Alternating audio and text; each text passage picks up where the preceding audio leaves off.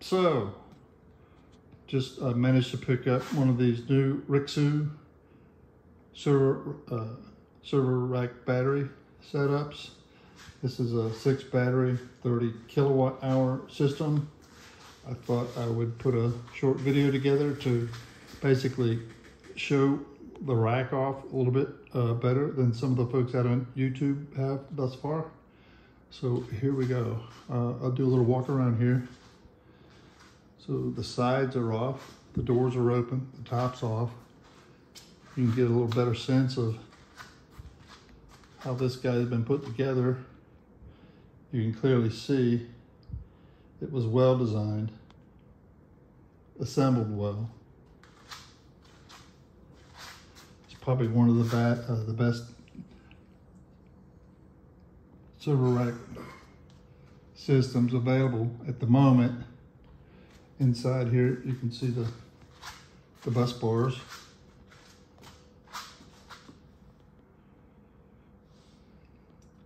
I measured these bars at three millimeters by 25 millimeters. You can see all the bolts for the battery connections as well as the rack to external connections are possible with this setup. You can see a lot of the quality really shows itself here.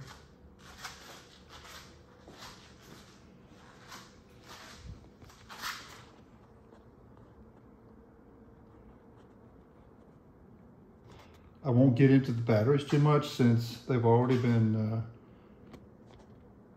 shown in other videos. They're receiving um, very good reviews.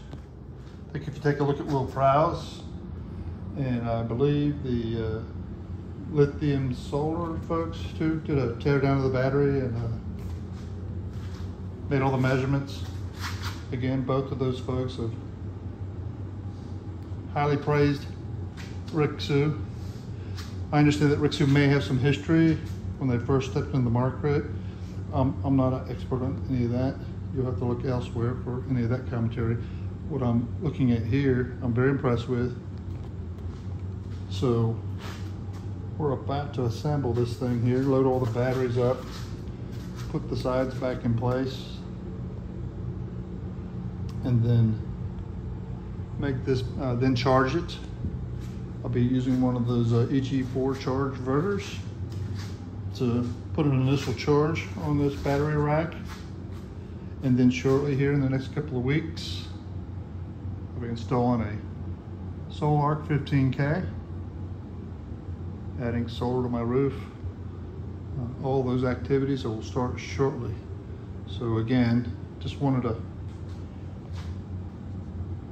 put this information out initially to give this thing some more views than has been made available thus far.